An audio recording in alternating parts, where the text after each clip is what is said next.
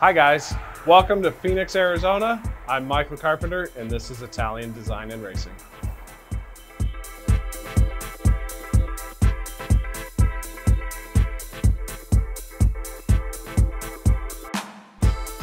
My role here at the shop is to keep everything running smoothly and help out with design work and engineering as needed.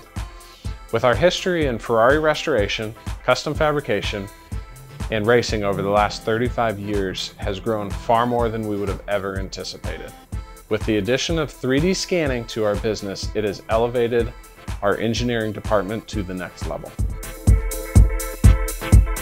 I'm Chris Carpenter, lead technology engineer from Italian Design and Racing, located in Mesa, Arizona, with the majority of our experience being with Ferraris.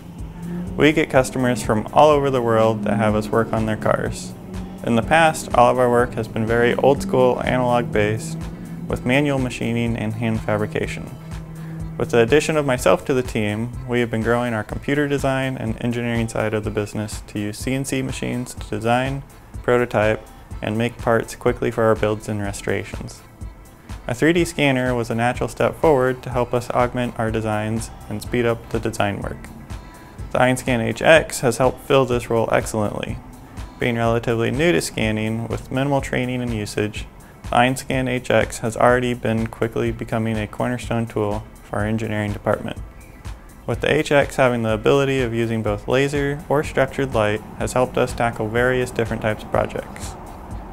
The Einscan HX is also helping change how we approach challenges and even allowing us to create new solutions to help us take what we do further. The ability to scan by features or markers gives us flexibility to scan any sized object in our shop. Being able to scan body panels of cars to create custom mount points or even replicate the original shape of a car in case of body damage. The laser scanning has helped us get exterior preservation data while the structured light has helped us get more interior and engine bay data in order to test fit parts and have a better understanding of clearances for custom parts throughout our builds. Right now we are using the HX to help us digitally preserve a one-off historic project from 1957.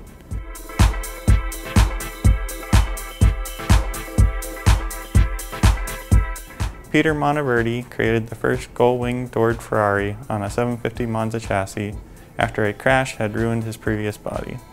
The chassis was later re-equipped with an original 750 body, but the gull-wing chassis has remained in private collector storage since. We are currently working on restoring this body with a more modern Ferrari chassis and getting it back to period looking. In case the car is ever damaged in the future, we will have a digital reference to get the body back to the original dimensions.